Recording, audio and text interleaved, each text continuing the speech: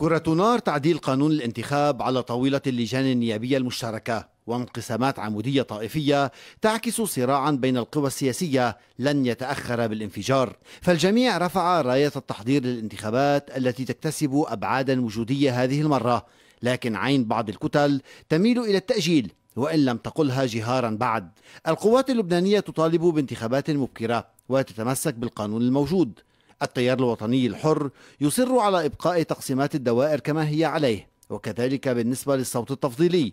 حزب الله يتمسك بلبنان دائرة واحدة مع النسبية وهو ما تصر عليه أيضا كتلة التنمية والتحرير كما تعمل للإطاحة بالصوت التفضيلي.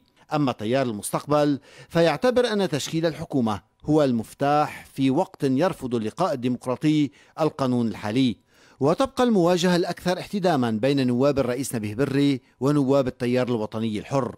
على كل حال الهرج والمرج في جلسات اللجان المشتركة تكشف خلافات عمودية حول مواد في القانون تحتاج إلى تعديل لا سيما التقنية منها كالبطاقة الممغنطة وانتخابات المغتربين.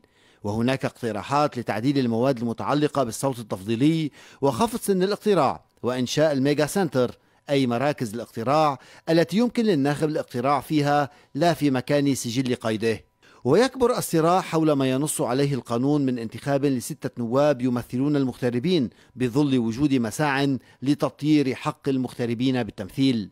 إذا طبخة بحث قانون الانتخاب لا تبشر بالخير وكلما مر الوقت من دون حكومة يتعاظم الشك بإجراء الانتخابات أما ما هو مؤكد فهو وجود خطة جهنمية بدأت ترتسم في الأفق لتطيير الانتخابات النيابية المقبلة وإبقاء القديم على قدمه والتمديد للمجلس النيابي فهل تجتمع المصالح بسحر ساحر فتنجح سلطة الفساد بذلك؟